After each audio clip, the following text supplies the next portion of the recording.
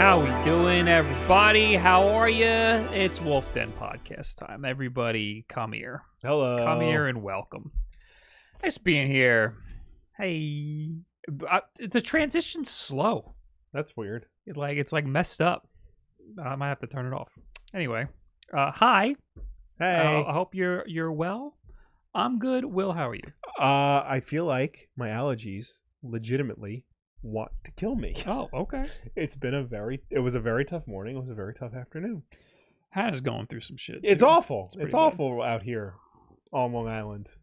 Uh, I imagine it's pretty bad in a lot of America. Mm-hmm. Is there anywhere where allergies are not a problem? Well, I mean, I hear Texas is particularly bad. I feel like desert states Mhm. like Nevada, Arizona, because it's dry. That, but that can't that also be bad? Yeah, it can make your nose bleed. But sometimes Oh. I would rather that than like you know being stuffy and sneezing. You know, and I'm a dad, so I sneeze very loudly. yes, That's just what happens. Something just gets turned on. yeah, it just. Uh, Gamers Christmas says you are wrong. Still have wicked allergies in Nevada. He's been he. This particular man in the chat Yeah. has had a very good time the past two, day or so. yeah. Just saying you are wrong because I did. Uh, I did the Vita hack yesterday. okay. Boy, let me tell you, people love just telling me I'm wrong about the Vita hack. But but it's not easy. I'd imagine there's places where allergies, you know, are better Yeah. and worse, but I'd imagine they're pretty bad. Maybe pretty my allergies are not as bad in like a place like Nevada, but like somebody from Nevada's allergies might not be as bad in a place like here. I don't know. I mean, you're you're allergic to different things. Yeah, Everyone's like it- you things. know, human bodies are weird. You, you one day you're fine, the next day you, you can't get up because you slept wrong. You know, it happens. I have allergies, but I don't know what. It's just every time it goes from cold to hot. yeah, like the seasonal changing. Yeah, yeah, Yeah. but cold to hot. Right. Hot to cold, not a problem. Cold to hot is yeah. I, I get it both ways. Mm. Sometimes I get it both ways, but for the I always it's a sure shot that if it gets really hot all of a sudden, yeah. and in New York, that happens. Yeah. that that it it it goes from like 30 degrees and then the next day it'll be 80, Yeah. And that happens usually around like April or, Mhm. or May. Anyway, what are we? This is a, this is a video game podcast, right? Oh, we're not a meteor meteorology podcast. Meteorology, Yeah, that's the te- technical term for weatherman. weather guy. Yeah. Okay, all right, I understand. Uh, anyway, there are things to talk about this week. Believe it or not, it's not uh, it's not just Zelda time. Nope, we're Although it over is. Zelda. Zelda was last week. Zelda is old news. We're all, we're already moving on to the next stuff. We don't give a shit about yeah, Zelda no anymore. more Zelda. We will never talk about Zelda on this podcast again. And you should just throw out your copies of uh, Tears of the Kingdom, unless you downloaded your Switch digitally. In which case, just throw out your Switch and buy a the whole one. Switch. Yeah, Yeah. you can't play it anymore. Uh, today we're we want to talk about how Nintendo's being sued. yeah. oh, wow. It's about time somebody stuck it to Nintendo. Gotta admit, we lied to you a little bit. Not much going on. This no, a lot of little things. it's a light week. Um, yeah, we'll see if we can make the topics interesting. I also want to bring up that the 3DS got an update because that was a little that was Yeah. a, an interesting morning for me because I needed to see yeah, how it works with the hacked 3DS. Also, it's weird that the 3DS got an update at all. Yeah. After it was allegedly being shut down. yeah. Uh, other stuff like our friends released in Xbox HDMI adapter, That's right. We Uh, have friends. I and- forgot about that. and I got some things to say about it. Uh, and then some other stuff. Also, Nintendo delisted Pac-Man. Oh no! yeah, Oh no! yeah. It's it's uh, that's not why they're being sued though. That's not why, but uh, they should be. Yep. Uh, but before we get into that, there's two important things we want to talk about. Like, for example, uh, there's there's games. Yes. For Nintendo Switch. Yes, Nintendo may be uh, deserving of a lawsuit, but that doesn't mean they're not going to give you free games if you're subscribed to um, Nintendo Switch Online Plus Expansion Pack because these are Game Boy Advance Mhm. games. They are Super Mario Advance, Super Mario World, Super Mario Advance 2, and Yoshi's Island, Super Mario Advance 3. Oh my god. So now basically all the Mario Advance uh, Mario games are on Switch Online Plus Expansion Pack. So, Super Mario Advance 4 is Super Mario Brothers 3. Correct. And that's on Switch Online already. yes. And that has the e-reader levels in it. It's really cool. Yes. My understanding is these games are just ports. Yes and no. Okay. It's they're like ports in like the Nintendo sense where like they're the same game but like there's little tweaks here and there. Okay. Because they're not exactly the same. So Super Mario Advanced is Super Mario Brothers 2 from the NES and it is an updated version of the Super Mario All-Stars version of Super Mario Uh, Brothers so 2. that is actually the first time that I played Super Mario Brothers 2 was this. Or I guess my first full playthrough Right. was was Yeah, because I know we've played it on NES. Like we must have rented it from Blockbuster. Or a friend of ours had it or something. Because I definitely played the NES version. Yeah, this but- was this but like maybe I don't think we ever rented it from Blockbuster. Okay. My first like we didn't rent a lot of NES stuff. no. No. Uh my first like I might have dabbled like at Sears, Yeah. but like my first like real sit down play Yes. play for a long Yeah. time was this version because we Yeah. had it for some reason. well, because it was the first Game Boy Advance game. oh, This was the launch game for it. I did not know Yeah. that. So uh, So I don't know what they added because I never played through the original. it's a lot. A big thing that they added was voice clips. Like everybody talks in this game and they won't shut up, and it's kind of annoying. Um, but it's mostly like quality of life improvements. Like it saves your progress, uh, and like little tweaks here and there. I know the voice clip stuff because they're in Super Mario uh 3 Yeah, and it's weird because Yeah. Mario does not shut up. but it's kind of cool. yeah.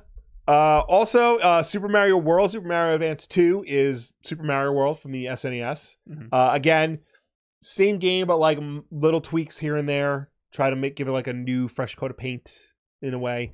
Uh, same thing with Yoshi's Island, Super Mario Advance 3, which is uh, Super Mario 2 Yoshi's Island uh, from the SNES. Uh I want to see what the changes are exactly. I know. Um, So I'm just gonna read the Super Mario Advance wiki here. Yeah. It's a remake of Super Mario Bros. 2 developed uh, by Nintendo Research and Devel- Development 2 as a launch title for the Game Boy Advance. Released in Japan on March 2001. Holy shit. And in North America and Europe in June the same year. It is based on Super Mario All Stars remaster of Super uh, uh, for the Super NES and also contains a remake of the original Mario Bros. I think they all did. yeah. Uh, Super Mario Advance includes many new features, gameplay mechanic changes, graphical and audio enhancements, and stylistic and aesthetic alterations from the All Stars edition, with the most significant changes being the addition of the enemy Roberto, a robotic birdo, replacing Mouser as the as the boss of World 3. I don't remember that at all. I don't either. The addition of the Yoshi challenge, in which players may revisit stages to search for Yoshi eggs, a new point scoring system, multiple hit combos, and, and large sprites and digital voice acting. So really not much. Yeah. I want to. What's Robert? I don't remember Robert. I don't remember. Roberto at all. I played. I remember there being several Birdos, but Is not a like, robot one. like every level or yeah. Um, Well, there's I- a manga version. I do know. Yep, there it is. I do know that for the longest time, Nintendo was porting this version of Yoshi's Island to other systems, not the original. okay. And I don't know why. Yeah. Oh, so you're saying, oh, this version of Yoshi's Island? yeah, the Game Boy Advance version of Yoshi's Island. Uh, The game was this. This is about Super Mario Advance, though the first one. So, Right. So Super Mario Bros. Two. It's very confusing. Yeah. The game was re- re-released on the Wii U's Virtual Console in Japan, uh, in North America. Blah blah blah blah. Okay. So yeah. Cool. All right. So, mi- very minor changes. Right. I'm gonna I'm gonna say, except for Roberto. Roberto seems like a pretty big change. Yeah. That was my uh, name in Italian class. Roberto. Mine was Mario. I picked Mario. Did you actually? Yeah. Because Because nobody told me that uh, there was that Guillermo is the Italian equivalent, so I'm just like, all right, I'll do that one. what did our family call you when we visited Italy when I was three and you were five? Because they refused to call you Will. probably Willie or Willie Pete. No, I think I. There's no W, right. so they were like what is that name? And they were They like must- offended. Uh, you. I thought they call. I thought they made up a name for you. They probably call you Billy. Probably. Yeah. Anyway, uh, that's it. You get in the Super Mario Advance games. That's pretty cool. Yeah, but that- all of these games exist on Nintendo Switch Online anyway. In, so, in a different capacity, yeah. yeah. So I mean, if you grew up with these versions of the games and maybe you're used to them, I mean, to be have fair. Super Mario Advance is the best version of Super Mario 2. yeah, I'll, So, I'll allow that because there's you know Yeah. like it's Super Mario 2. Yeah. I don't have a lot of good things to say. yeah, about it, it is the black sheep of the series for sure. I want to also mention that uh, before we started, I left my coffee to sit in this ember mug for a little bit, and uh, it smelled like hazelnut, Yeah. and it was because my ember mug was on full blast. It was cooking. it was boiling the coffee. now I put it too low. Now I got to raise it. Anyway, uh, other things we wanted to talk about. Uh, there's a state of play going on. Tomorrow. Yeah, which we're not going to Yeah. obviously So, be able yeah. to. Talk I mean, about. we'll talk about it next week. Uh, but yes, uh, tomorrow at 1 p.m. Pacific or 9 p.m. British Standard Time, uh, a wealth of new game and IP uh, are headed to PS5 and PSVR 2.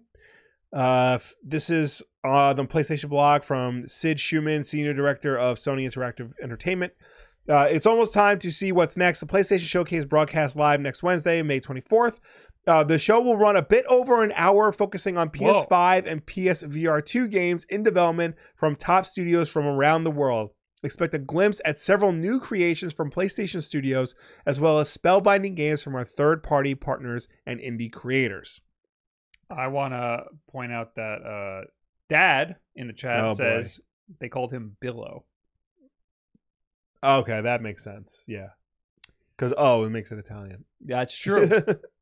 I understand. Uh, one hour is a long time for a Yes. state of play. So uh, I was getting people asking me if I was going to do a thing for this, like if I was going to stream it or whatever, because I do that for Nintendo events and stuff, and I used to do it for like big Sony events. yeah. but they've been so bad for a long time. The Sony ones, they, I mean, the last one was pretty good, Yeah. But they're not worth going live. You know, at what time is this? Four, four in the afternoon. Yeah. it's not worth uh, ruining my afternoon.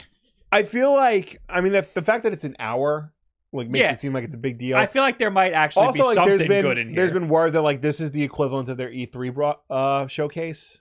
This would be the equivalent of their E3 showcase. It feels too early. It does, but like, yeah, I mean in- they, they won't have. Yeah, they won't have one. Like, Yeah. like it's too close to E3 time. But it usually they would.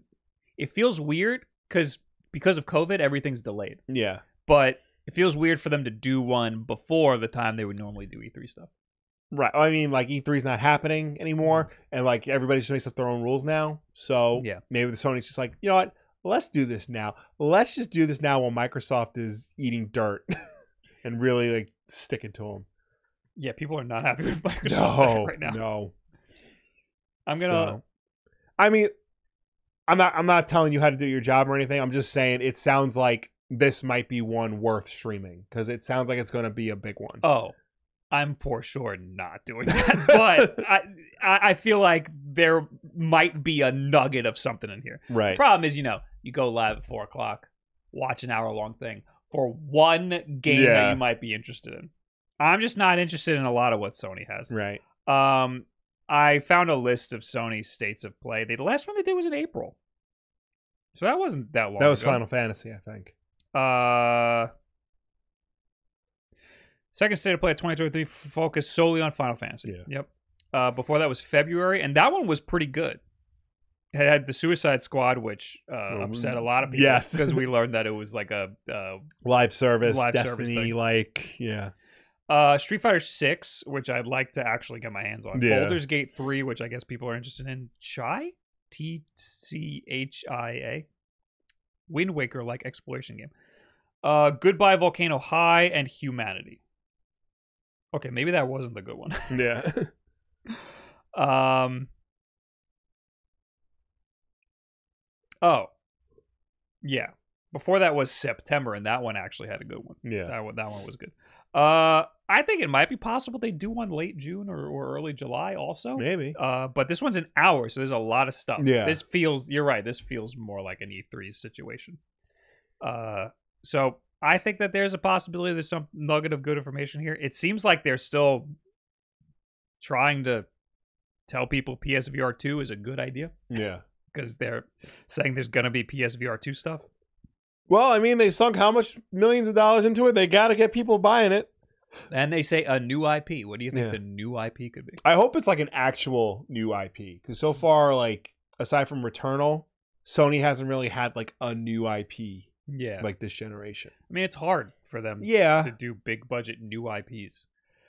They did recently purchase that studio Yes. That- ha- that was like people who worked on Destiny and Yeah. stuff. Yeah, they could be working on something. I, I, don't know. Yeah, I forgot. I forgot the name of the studio was. So, yeah, there there might be a little nugget of good stuff. Yeah. I'll watch it for sure. I'll probably tweet about it, but um, Mhm. there's no way I'm going live for that. Um. So we'll see. So I, by the time you're listening to this, you could probably check my Twitter and see if I had anything to say about any Yep. of this stuff on uh, on the uh, PlayStation State of Play. Next, we can finally talk about why we're here. Yes. You subscribers, thank you for the subscriptions. Uh we got I'm late. I'm late. Hold on. It's giving me a million things. Uh thank you for the subscriptions. Uh Mike at, at J File for the 2 months. Hi mom. Okay. Uh Summer Gamer, thanks for the 6 months. Hey Wolf Bros, hello. How you doing? Big Boosh, thanks for the 19 months. Did you guys see that GameStop is raising the price of their pro membership? Also, high Will. Hey, I did see that. Uh, it's like I think they're raising it by like ten bucks. Um, I didn't put it in the keep because I have another GameStop story that I find much more interesting. Yeah. Um, but yeah, I, I did see that they're raising the price of the pro membership by ten bucks. Best Buy is also raising the price of I think their like elite tier membership or something. yeah, I haven't had a GameStop pro membership since I worked there. Yeah, Um I think your account still works. Like if I give them no, it your does. email, yeah. It do- you get points, but Yeah. you don't get uh, the discount. Not like I shop used at. GameStop anymore. I don't buy used stuff. Like when I worked there, it was worth it because I think it. I'm pretty sure I. I don't know if I got it for free. what The- games. The, no, the um the pro membership. oh, I don't know if I got it for free. I don't know. We got Game Informer for months when you were working there. Yeah, I might have paid for it, but but honestly, I would buy used games. It would Yeah. stack with your uh, employee discounts. Yeah. so it was worth it then. Uh, but then I stopped working there and I never bought used stuff anymore. I remember when Uncharted Four came out and I was working in the city. Uh-huh. Uh, I think I was still technically employed by GameStop because I did like midnight launches. Yeah. Um, I picked up Uncharted Four uh, at the GameStop by my job in the city, and uh, the guy tried to upsell me to like the collector's edition, and like, uh, and then he tried to get me to renew my pro membership. I was like, I, I like Yeah. yelled at him. I was like, bro, you're putting in my employee discount, right? Yeah. I don't. I know what you're doing. you, you're like, you could be cool with me. Yeah. You could be cool with me, guy. He was like, "You sure you don't want the collector's edition, or like the you know like the special the edition that was ninety dollars for no reason You got like the one that came in like the fancier box. for the pre-order? I think you got the steelbook pre-order. It wasn't Steelbook. I didn't get the fucking ninety dollar one. Whatever. Right. I'm not. You got one that wasn't the standard release. I didn't pay extra for it. okay. I got I because the guy tried to get me to do that, and I I wouldn't do it. Um, yeah, and then he tried to get me to renew my subscription. And I was like, bro, dude, you friggin' just put in my employee discount. I could see right through your lies. But yeah, anyway, uh, the GameStop Pro membership is only worth it if you buy a lot of used games or if you trade in games a lot. Right. Otherwise, avoid it at all costs. There's no reason to have that shit. Or if you want Game Informer, some good articles there Yeah. sometimes. Yeah. And It- good cover art. There's one that our buddy Alex just made about uh the the the history of those uh Nintendo mascot outfits Yes. from the 90s Yes. commercials. That was fun. Yeah. Anyway, now we can talk about Nintendo Yes. sued. Uh, Mario Kart Tour lawsuit calls out immoral loot box gacha system. Uh, at the end of last year, Nintendo removed the gacha elements from its mobile racing game Mario Kart Tour. It replaced the system where players would fire a pipe to receive a random item with a spotlight shot. Although the item system has already been updated, Axios reports a young gamer with the approval from his father has filed a lawsuit in the United States against the video game giant over supposed immoral microtransactions with the mobile racer. The suit was originally filed at the state level in March and last week entered the federal system. Uh, here are the details courtesy of the source. Uh, the suit calls for refunds for all minors in the United States who paid to use Mario Kart Tour's Spotlight Pipes, which delivers players in game rewards using undisclosed odds. Until last year, Mario Kart Tour players could spend real money to uh, to repeatedly activate the pipes in the hopes they'd randomly produce useful upgrades. Its plaintiff, identified as NA, um, spent more than $170 on Mario Kart Tour microtransactions via his father's credit card, which was linked to their Nintendo user account. Calling the plaintiff NA is confusing. I think because like that's Nintendo America. yeah, I think because like the the plaintiff's a minor, yeah, so they can't like, put in his actual name. yeah, yeah. Uh, it's claimed Nintendo intentionally made the game difficult to proceed without pay, using dark patterns, especially encouraging players to spend more. Um, the suit goes on to mention how the loot box mechanic in uh, within Mario Kart Tour reinforced addictive behavior, likening it to gambling. As noted by Axios, these practices allegedly violate Washington State's Consumer Protections Act and California business laws. I'm glad this happened. I mean, I I also saw this when I was playing Mario Kart Tour. I was like, it's the, the the problem is this is a this is an issue with mobile games. Period. Yes. and uh it i think it's a little unfair that nintendo takes the fall for it but somebody's got to I it's it's unfair, but at the same time, it's not really fair. It, I, at the same time, it is fair. It is fair that it's Nintendo because when Nintendo first entered the mobile market, they made a big deal about how they're not going to. They're going to try and do it the way they used to do on uh, console. Mhm. So like they would release free games and like they would send updates and like they wouldn't have like all this microtransactions out the wazoo. Uh, Super Mario Run was ten dollars. You can get the whole game. You know they weren't really into playing the the uh, the typical mobile game game. You know Yeah. of like a free game and there's just microtransactions and loot boxes. yeah And that crossed over to when companies like EA and Ubisoft and Activision tried to take that model and put it into console games. Nintendo was still saying, no, that's not how we do things. We're not going to Yeah. put that in our games. And here we ha- are in 2023. They made a game where they did exactly that. yeah Um, and, you know, what everybody says happens with it happened with it. Kids got addicted. They spend way too much money on this stuff. And now they're going to get in trouble for it. there's plenty of mobile games that are more popular than mario kart tour that uh have more egregious microtransactions Yes. that that do uh i mean it's easy to pick on nintendo because they very clearly are targeting kids with mario kart tour Yes. where these other games might not be like Clash Yeah. of Clans. Like, Yeah. I, kids are playing it, but it's not necessarily like a, a targeting a kid. Yeah. Um, but yeah, these these loot box and microtransactions uh need to be regulated in some Yeah. sort of way. So this is, I mean, this is a clash action lawsuit. So I don't know if it sets a precedent, but it will scare companies away from doing something like. That. I this. mean, if if it if it sides in favor of the plaintiff, it'll set a precedent. Mhm. Well, either way, it'll set a precedent. Because if uh, if this kid wins, then that sh- that you know scares companies from doing the same thing. Um, and if Nintendo wins, that basically tells companies, "Oh, it's okay. Yeah. You can just keep doing it."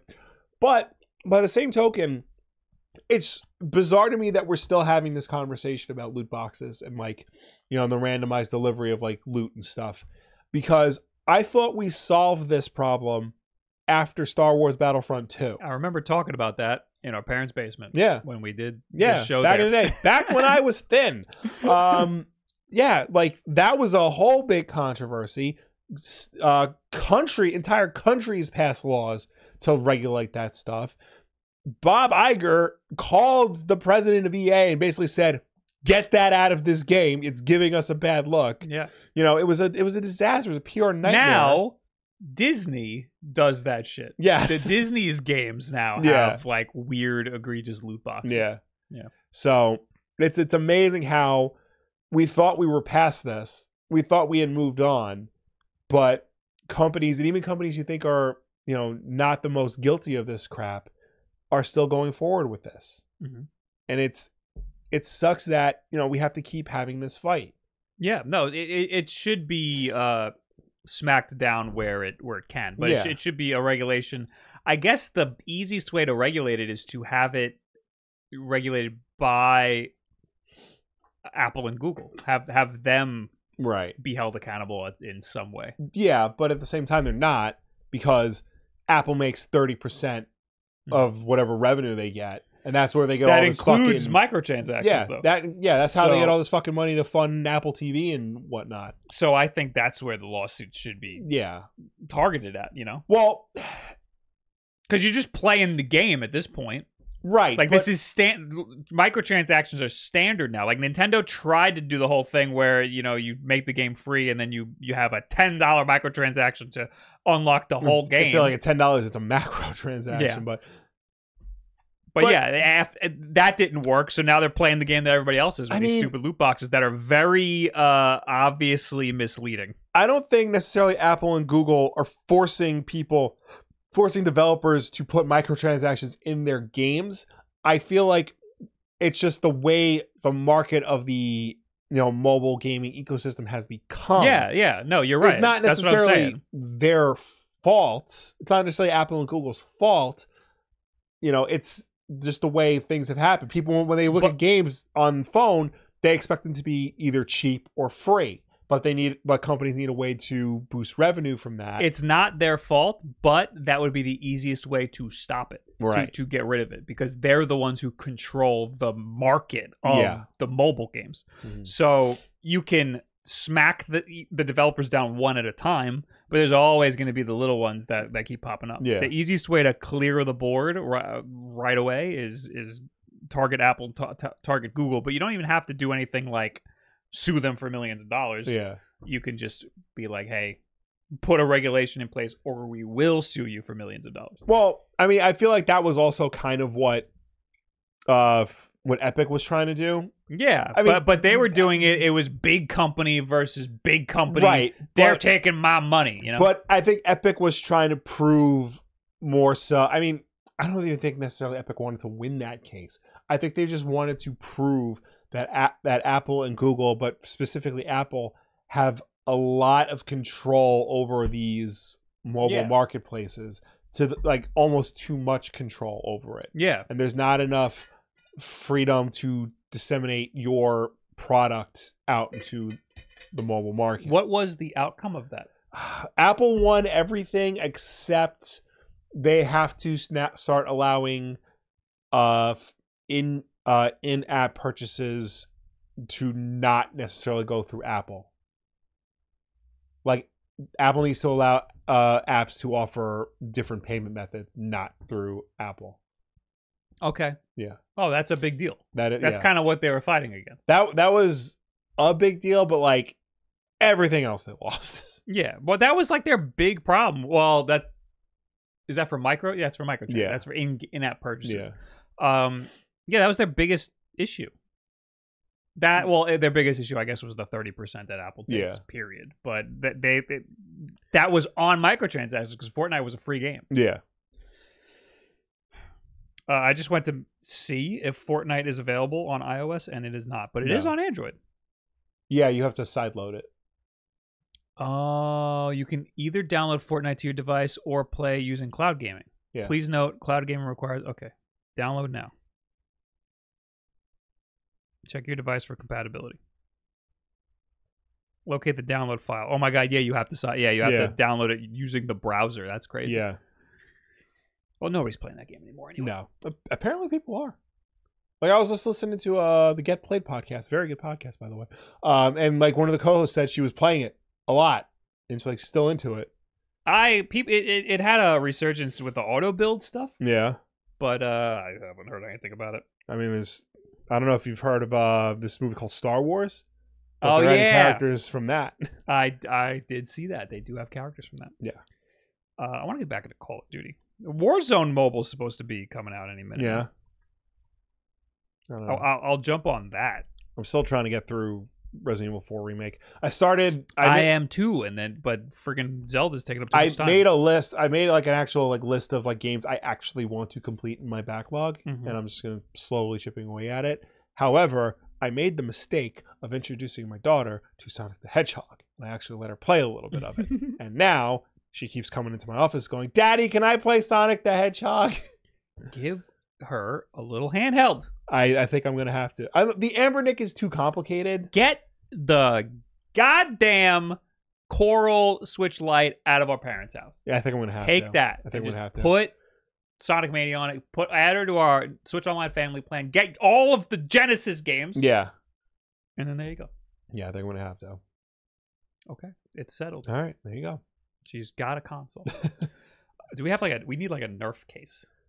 I'm sure they make Nerf cases. oh, they for- definitely yeah. make Nerf cases. Nerf Nintendo Switch Lite. There's apparently a game That doesn't surprise me. case. It's got to be a live-in case though. Yeah, They have them, but it's not like a Nerf. yeah, one. it's not like Nerf branded. Yeah. I mean, we have plenty of live-in cases. Yeah, no, there. It's Nerf for nothing. Also, Switch Lite's pretty damn powerful. Yeah, and I mean like it's Nintendo, so like it doesn't break.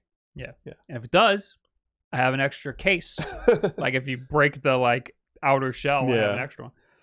Uh, anyway, what are we talking about? Oh yeah, loot boxes. Yeah. Somebody's got to be held, not held accountable, but somebody has to. There has to be a way to strike down these like uh, uh, egregious loot boxes that are, uh, especially if they're targeting kids. But Yeah. just because it's gambling, it, it's it's it even if it's not targeting kids, yeah, it is a form of gambling. And uh there's regulations on all other forms of gambling. Yeah. so there should be regulations on on this sort of stuff too. Um anyway.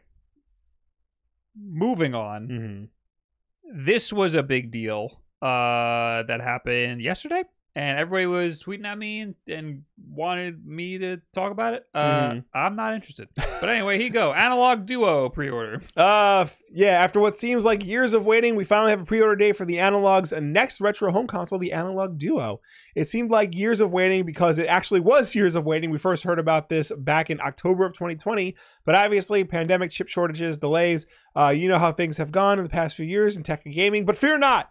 Retro game fans, the Analogue Duo was just announced for its pre-order starting May 19th, uh, a few days ago, at 8 a.m. Pacific. Uh, and the retail price for the Duo is 250 US dollars. So this is cool, and I'm glad it exists. Yes. but I have no interest in PC Engine and TurboGrafx games. yeah, at this new home console from the makers of the Analogue Pocket is referred to. Uh, uh, sorry, will deliver on the Duo concept, playing original PC Engine and TurboGrafx 16 games. For those unfamiliar with either 16-bit console from Hudson Soft and NEC, they were essentially uh, one and the same, much like the Famicom and the Nintendo Entertainment System. Japan had the PC Engine, and North America had the TurboGrafx 16. Uh, both consoles were capable of making use of an external Super CD-ROM expansion as well. Hudson and NEC released the, the PC Engine Duo in Japan, uh, which combined the original PC Engine and the Super CD-ROM into one unit. Uh, so obviously that's where the Duo comes from, the Analogue's new console name. So yeah, this is um this is an analog uh, clone console uh, that can play both original HuCard, TurboGrafx 16 HuCards, and um, the Super CD uh, TurboGrafx CD games. So this is a big deal because this is their first CD based. Yes, This is Analogue's first CD based Yes. uh, uh, the FPGA emulation console. Uh, so that's a big deal. yes, The only games I'm interested in are the Bomberman games. yes, because it's Hudson. Yeah. Yeah. So Um, that's it. yeah, I mean, this is really cool, and I wish I was into TurboGrafx games, so I would, so I would want this in a heartbeat. But like, you know, uh, most TurboGrafx games like that I would want to play. I've played on other systems, like yeah. the, the like Wii, Bomberman. yeah, like Bomberman or like Bonk, Bonk's Adventure, um, the original Splatterhouse. You know, those are all available on like the Wii and other systems. So playing TurboGrafx 16 games is a lot easier than it has been in the past. Um, I mean, that said, I mean, if there were no Nintendo, one of these things, I'm like, I'll, I'll go out and buy some TurboGrafx games.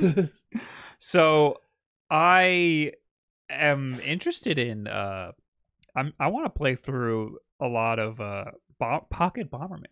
I've was play. I've been playing that on on the little portable emulators. That's pretty good. Which one's That's the side scroller, but it's it's Ah. Bomberman, so you place the bombs. Yeah. but it's side scroll, You gave so me it's weird. ROMs for Bomberman Max, which I think is like their Pokemon style RPG. Yeah, Yeah. but but it's still Bomberman, so it's like Yeah. an RPG. Well, it's not really like an RPG. It's level based, okay. but there's like an overworld map. Yeah. So it's still Bomberman, but there's just an overworld Right. map. And it's there there are two cartridges. There's a Bomberman cartridge and a Max cartridge. yeah, well, there's a red and blue. I think. Yeah. There's yeah, like because up- Bomberman was blue and Max was red. Oh, okay, that makes sense. Uh, I sh- you should also have Pocket Bomberman, I'm pretty sure I do. and Yeah. that's very good. Yeah. Also, the pause screens in these games are gorgeous. it's like this gorgeous Game Boy Yeah. art. Uh, Um, that reminds me, I got to bring over my Analogue Pocket because I copied all the ROMs that you gave me from the Anbernic, and none of the SNES ones work, except for Link to the Past.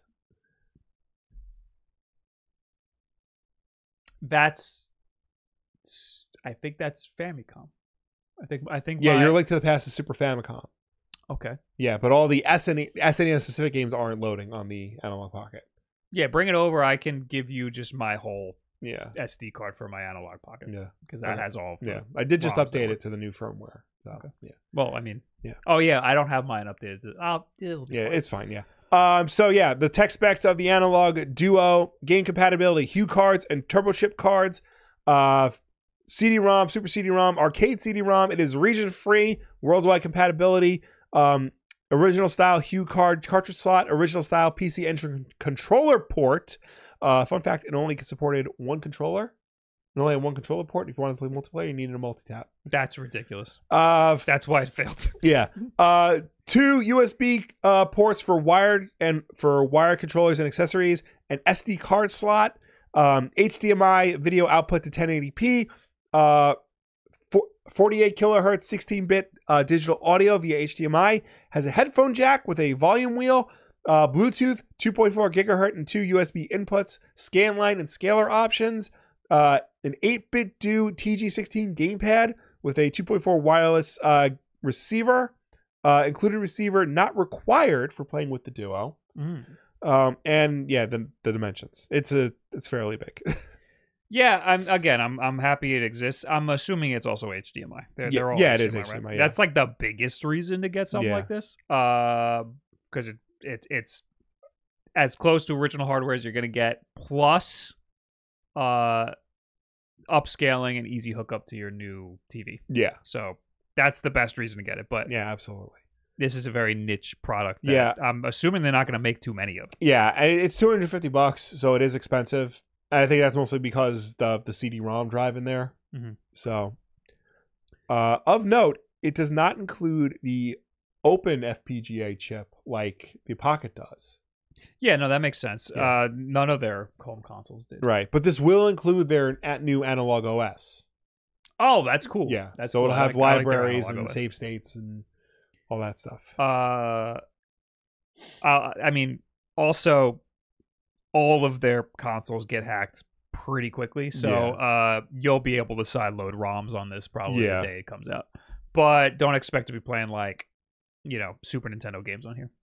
It's probably just going to be playing. yeah, probably just the TurboGrafx games. Yeah, Uh, Flo in the chat says maybe a dumb question, but how is this legal for Analogue? Because it's not emulation, right?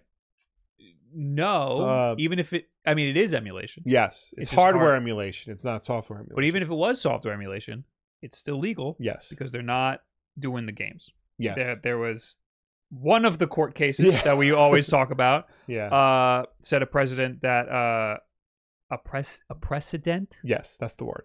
that uh, console BIOSes are not copyrighted. Yeah, So they used the BIOS of the TurboGrafx, and it's perfectly legal for some reason. Don't question well, it. it. We're we're we're happy to be here. I think basically what they're actually doing is they're revert. It's it's legal to reverse engineer, um, hardware and software Right. to figure out how it works, and then use that information to build your own version of it. And especially something like that's old, like the TurboGrafx 16. I- I'll I'll say hardware and the BIOS. for the BIOS, hardware. yes. Software is different yeah, because that you could include a game. yeah, Uh, but but the physical chip, they reverse engineered and put it on FPGA, so Yeah. that's legal. The BIOS, which would be required to boot the thing, that is legal. The games themselves are not legal, and that's why you Yeah, need a cartridge. you have order to provide your own games. Yeah. Although this gets hacked right out of the gate pretty Yeah. quickly. Uh, so the hacking thing is a little bit of a loophole. Uh, anyway, there was another thing I wanted to bring up. Uh, how much is this going to be? Uh, 250 bucks. Yeah, it's kind of a lot. Yeah. I mean, uh, their consoles are always kind of a lot. Well, yeah, because they're they're more boutique items. So, like Yeah. they're spec. Like you can get a clone console anywhere, but they're usually like 50 bucks and they're really cheap. Like these are like for the super enthusiast crowd. These are like for the fucking people who had a TurboGrafx back in the 90s. Yeah. You know, because And have well, money now. Yeah, everyone who was like, "Well, I'm a Sega kid, I'm a Nintendo kid," you're in the back, and I'm a fucking TurboGrafx motherfucker. Also, Rondo of blood, bitches. also getting older consoles to work through HDMI is expensive. Which Yes. we'll talk about later. Yes. Uh, I wanted to bring up before we move on too much. Uh, somebody in the chat said, uh, "Oh, Lord CD in the chat says, is are, are Pokemon cards gambling?" Because we were talking about loot boxes, Yes. and I said yes. And then Edward Bova says, "Explain the reason why Pokemon cards are gambling." Go ahead. So it's because people are buying these Pokemon cards right. to uh to to get certain cards out of it, right? Right. and y- you have a you know a, a, a, a random chance of getting the card that you want out of it and then people take those and those cards are worth money now Right. they could flip them for actual dollars and that's how people play the pokemon card game they they they they want to unbox these cards and get the highest value cards out of it or the rarest cards out of it Right. uh, so yeah, it's a form of gambling, absolutely. And uh, recently, the Pokemon company got in a little bit of trouble because it was revealed that people who worked at the card manufacturing place were skimming the rarer cards off the top. so all of the rarest cards Yeah. were being taken. So people weren't able to get Right. those. Uh, the Pokemon company denies this and says that it didn't affect like the rarity of the cards, but Mhm. they have to say that it 100% did. they could be sued for that. They Yeah. could get in a lot of trouble for that. So that sounds like gambling to me. It, yeah. Like if you're if if someone is sitting there taking, you know, Yeah. if someone's sitting there ruining the odds of a casino game, Yeah. the casino's gonna get in a lot of trouble. Yeah. You know? Yeah. It, it's a shame because like it's not supposed to be gambling. It's supposed to be a, a game for kids Yeah. where you pit two animals against each other in life or death combat. Yeah. But you know, this is what happens when adults get involved. Adults ruin everything. Yeah. And it's fun to like, you know, unbox it and and, Yeah. and, and try to get something really expensive out of it. But so is Yeah. gambling. Gambling's also fun. Yeah. So Lord Lord DC says I've been gambling since I've been six. Yeah, me too. Yeah. Uh, somebody else in the chat asked if there's an update on the um, uh, Vita because yesterday I hacked the Vita. J- Junior Moser. Uh, yes, uh, it worked. Everything worked. Yeah. I even got my Metal Gear Peace Walker, my legitimate Metal Gear Peace Walker, Uh-huh. to work. To I re-downloaded it Okay. and my save file. Oh. But that was a huge pain in the ass. Yeah. That was the biggest pain in the ass was getting my save file from Peace Walker over to Right. after I wiped the whole thing, which I guess I didn't really have to do. Uh, but everything works now. It's all good. Uh, I I did not uh download like any emulators onto it. I just did PSP and and uh, and and the legitimate PSP game that I had. Right. Anyway. What else do we talk about? Uh 3DS. There was a 3DS update. I put this in here. Okay. Uh there's a 3DS update last night. Uh I immediately went right to OatmealDome's Twitter because he usually picks apart all of the software updates for Nintendo consoles. Uh huh. He said version 11.17.0 slash 50 was released for all regions. The patch notes only contain the usual stability line. Uh, but then uh, a bot, a Twitter account that is a bot Uh-huh. that I guess picks apart, automatically picks apart Nintendo updates, says that the update includes system settings update, eShop app update, internet browser was updated. Uh-huh. For US regions, 3DSs, the home menu was also updated. So some minor updates. I didn't notice any difference when I when I updated mine. Right. Uh big concern when these things happen is what's going to happen with uh you know, uh, hacked consoles. Right. So I wanted to try that for myself and I couldn't update. It failed. So Interesting. that's a little bit of a problem and a big Yeah. concern. I was a little scared I was going to brick my console. But it turns out it's because I had an older version of the hack, which was fixed very easily. I just had to replace two files. Yeah. Uh, and then it updates and everything works. Everything's fine. There you go. Uh, you do need to do an update like this if you want to use any online features. Online features, for the most part, don't even work on a 3DS anymore. But Pokemon Bank, I'm pretty sure you need to do this update in order for Pokemon Bank to work. Yeah. So you're gonna make sure that you have the most up to date version of Luma 3DS, which is again as easy as replacing two files: the boot.firm file and the boot.3dsx files Mm-hmm. on your micro SD card, and then it'll just be updated and and work perfectly. Uh, I think I read somewhere that you need version 11 or 12 of Luma 3DS to do this update. I had version 10. Someone else tried to tell me that in the Discord for the 3DS hacks, they said if your console is hacked, you can update. If your console is not hacked, do not update. I have no idea what that means. Yeah. I don't know why, if your console is not hacked, you shouldn't update. I guess that's if you maybe want to hack it in the future, you might have an issue. So I'd imagine if you wanted to hack it, you would have already done so because it's very easy to do. Mm-hmm. Uh, so if you're thinking about hacking your 3DS, don't update it. But I'm sure they'll have a Yeah. fix later anyway. It's because the hacking methods may have been patched out. Okay. I think I I don't think it was, but I understand the concern. Anyway, that's the 3DS. Yes. Uh, now I also put this in here. Uh, when was this tweeted? Of course, it's taking a Uh, hot minute. Pokemon Scarlet and Violet to work with Pokemon Home. Yeah, Apparently, I didn't know they didn't. I I didn't know that either. I knew. Well, I knew it was coming. I thought it had already come. Yeah. but I guess not. Uh, this was May 18th. Okay, so it wasn't with the update, but yeah. Uh, f- this is tweeted by the Pokemon Twitter account. From Pokemon Scarlet and Violet version 3.0.0 onward, players will be able to link Pokemon Home with Scarlet and, and Violet. So you'll be able to transfer your Pokemon uh, into and out of Scarlet and Violet now using Okay. Pokemon Home, which is a nice thing. Yeah. Uh, I'm assuming version 3.0.0 happened already. Uh, if it, I'm not seeing anything in this tweet. I didn't see anything that Pokemon got updated anywhere.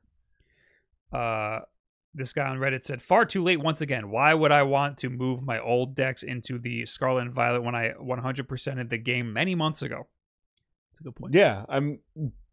It you basically delayed a major feature for so long. People, people have moved on from this game already. People already weren't happy with this game when Oh, it I launched. moved on so fast. Yeah. Sly Cooper fan in the chat says 3.0.0 has not even happened yet. Wow. Uh, I they're doing this for longevity, Yeah. but it uh, yeah, it is far too late. They Yeah. they they should have this should have happened at launch. This Yeah. should have been a thing at launch. Yeah. Um, somebody else in, on Reddit says Pokemon Home is such a scam. The fact that none of the games on Switch support every Pokemon ensures that you will need to pay an additional fee once in a while just to access your own Pokemon instead of just letting us store them locally. That's a good point too, Yeah. because yeah, that they stopped supporting every single Pokemon, which I get why because there's so many of them, but also Like you've got the resources, just make the Pokemon games massive big experiences. Yeah. Like they're not that complicated. Yeah. You know, they're they're they're just turn-based games. Mhm. Like just we've seen what's possible on Switch hardware. Yeah. You are the biggest franchise in the world. You've got the money. Make the game good. Yeah. This this game was not good. All right. Next, we can finally talk about Eon Gaming's new cool device. Yes, Eon announces the XBHD, a plug and play HDMI adapter for the original Xbox. Eon Gaming, the company behind the HDMI adapters for the Nintendo GameCube and the N64, and friends of the show, uh, has officially announced the XBHD, its next adapter that is designed for the original Xbox. The XBHD is a plug and play adapter that allows you to easily play your original Xbox uh, on modern TVs. The XBHD includes two HDMI video outputs, a mini Toslink audio jack, and three LAN ports. The mini Toslink, according to Eon, uh, claims to deliver clean digital audio through headphones or speakers and even capture cards. The three LAN ports are the most interesting feature, as you can see in the image above. Uh, it allows for versatility in having LAN parties. Uh, with the original Xbox servers shut down, including LAN ports uh, for the XBHD, it makes it easy to set up LAN parties and play games like Halo 2 with your friends and relive the early 2000s. Eon is aiming to release the XBHD June 20th, and it will cost 100 and, uh, sorry, $190, $30 more than the price of one GCHD Mark II or the Super 64 HDMI adapter. So I they kind of teased this to me a while ago, so I Yeah. knew that this was happening. Uh, I told them I want a demo of this working with four Xboxes because that's I'm not gonna be able to do that, and that that's the most interesting part of this. Um, it is insane that it has two HDMI outputs. Yeah, That's for like this is for like a tournament, yeah, you know, like uh the the GCHD was already like a thing they were trying to get like working on for like melee tournaments. yeah, stuff. yeah. So this is for like Xbox. This is for Halo tournaments. tournaments. Yeah. yeah, Uh, and you know, one of the HDMI's is for spectators and Yeah. stuff. Uh, which I think is a really cool that idea. is Like, cool. Yeah, It probably doesn't cost that much more to throw in another HDMI, Yeah. so why not? Uh, the LAN capability sounds really cool. yeah, Um, the price is insane. One hundred and eighty dollars. Yeah, that- that's one hundred ninety dollars is crazy. yeah. That that's the thing that like caught me. I mean, The GCHD is already a lot of money. yeah, To be fair, though, so the Super 64 is very similar to the GCHD. The Yeah. Super 64 is the HDMI adapter for Nintendo 64. hmm I recently, so I was setting up uh, an N64 for somebody, yeah, and I was going to like the if you want to set up the ultimate N64, yeah. you could do the HDMI mod. The mod itself costs $150 without any work. Yeah. like you have to do the work. yeah, So for the same price, you can get a Super 64. yeah, So I actually so I got them to, you know, hook that up. Yeah. Like that makes a lot of sense. yeah, This makes a lot less sense because the original Xbox already supports like higher definition. Yeah, that's that's what I was gonna say. The original Xbox um can output up to 720p. Yeah. And component cables. Well, 1080i. it, oh, can do 1080. I I looked it up. okay, yeah. So I'd imagine most games are 720p. Yeah. Yeah. um, and component cables for the original Xbox are wi- widely available and really inexpensive. You know, Well, you don't have For to. the aftermarket ones. Yeah. well, even like original. Uh, The original was like $80. really? I was looking it up, yeah. Huh. But you don't need the original yeah, ones. you don't need. You just need like good quality ones. Yeah. So, uh, if you could just get those, and you can hook them up to any modern TV, and they look fine.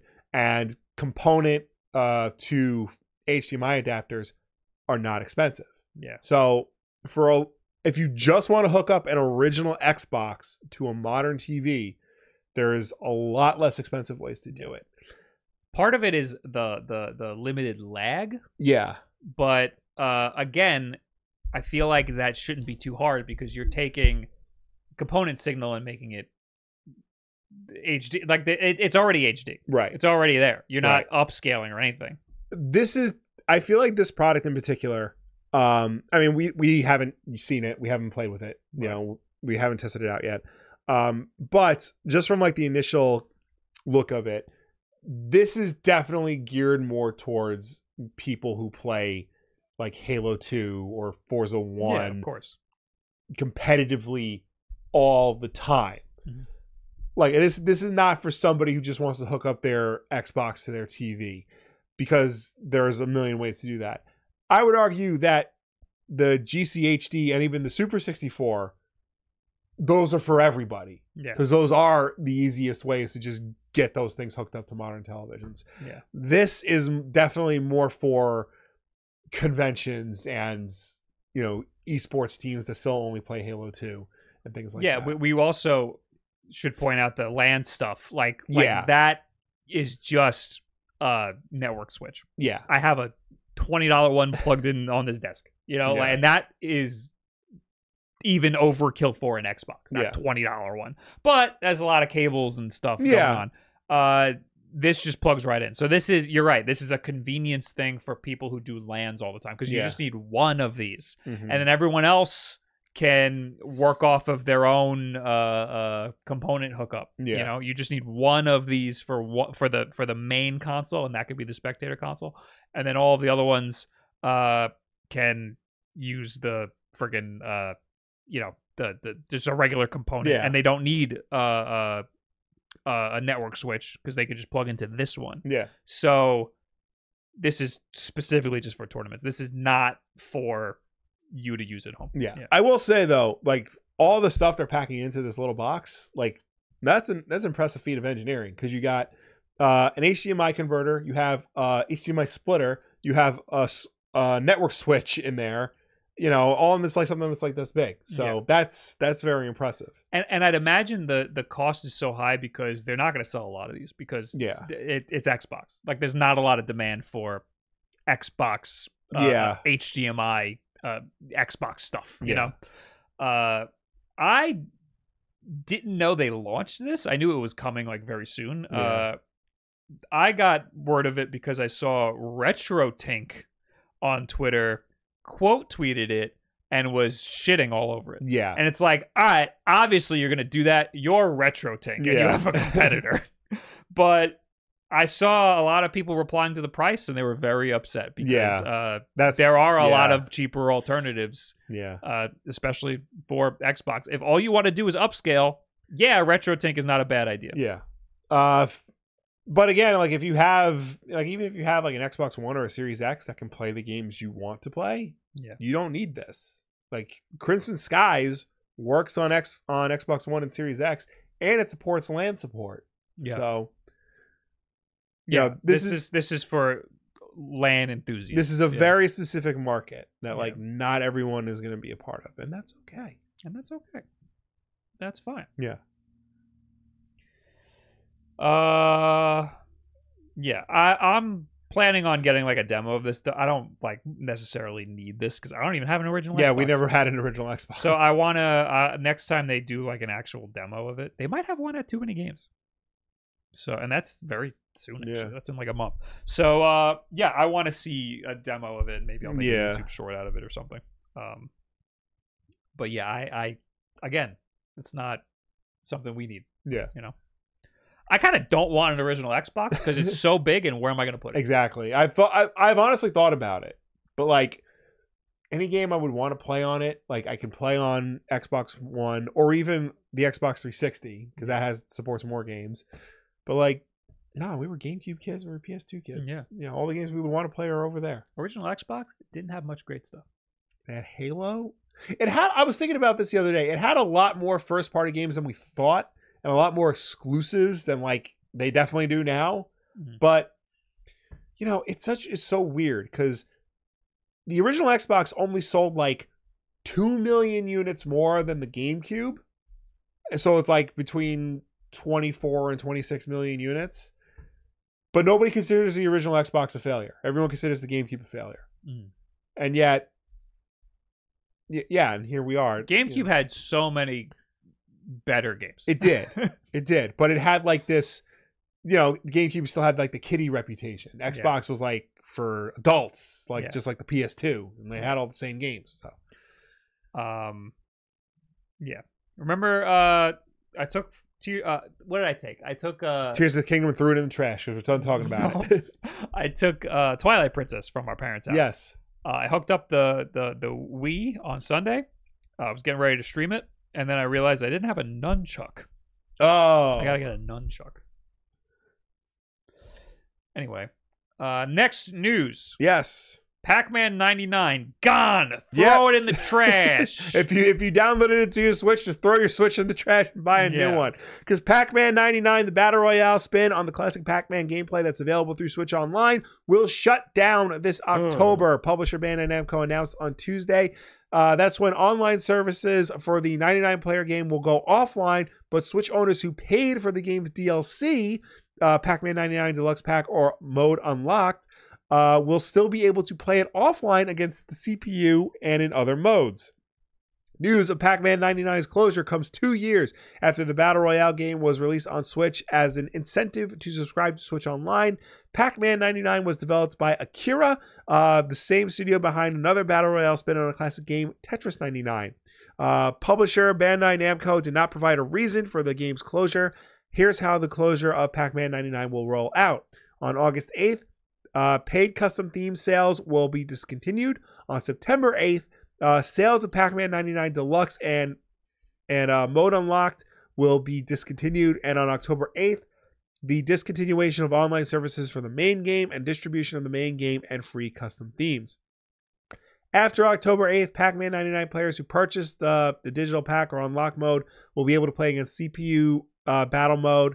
Will be able to play CPU battle mode, blind time attack, and score attack in offline mode only. uh, that's kind of a long time. So Yeah. they they gave you plenty of time to play your Pac-Man '99. Yeah.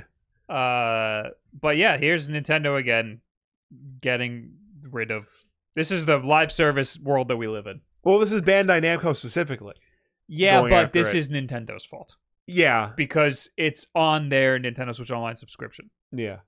And, and it's following in the footsteps of Tetris 99 and, and, and Well, Tetris Mario 99 's- 35. Tetris 99 is still available, Yes? Tetris 99 is still available. Yeah. Mario 35 Is on a- the one yeah, that they got rid of. Yeah. So you just, I'm upset. I should have played more Mario 35. yeah. Pac-Man 99 was fun. Yeah, it was good a little bit I played of it. Uh it's only Tetris 99 is the best version of this Yeah. concept, but Yeah. I mean, I loved Mario 35. I wish that they did some things a little differently, but uh, yeah, I'm surprised they didn't keep that going in some capacity. I'd love to see a new version of that. I want, Yeah. I just want Mario Royale, but like Nintendo to make it Yeah. because that is such a good idea. It works so well. Uh, crazy how these games are meant to promote Nintendo Switch Online, and they've shut down two of them so far. Yeah. I know.